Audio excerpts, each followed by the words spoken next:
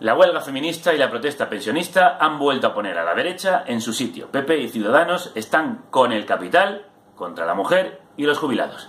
Defender al empresario no es compatible con defender al trabajador, pero para que parezca que velan por ti más que por tu jefe, dan saltos mortales que caen en el ridículo. El PP dice que no hará huelga, sino que trabajará por la igualdad así que el resto del año no lo hace. Y Ciudadanos está en contra porque es una huelga anticapitalista. Por la unidad de España no les importa manifestarse con otras ideologías, pero oye, por la igualdad de las mujeres ya menos. En una cosa tienen razón, no se puede ser capitalista y feminista al mismo tiempo porque el capitalismo viene siendo el sistema que explota la desigualdad de las mujeres. Sobre las pensiones nos dicen que no hay dinero y que nos saquemos un plan privado, o sea, lo de siempre, que nos lo hurtan a todos para que se lo demos a unos pocos. Nos mienten. Hay presupuesto para pagar la jubilación y medidas para alcanzar la igualdad de las mujeres. Pero el gobierno y sus socios tendrían que quitar privilegios por arriba para repartir derechos por abajo. Y por ahí sí que no pasan. Sí se puede, pero la derecha no quiere.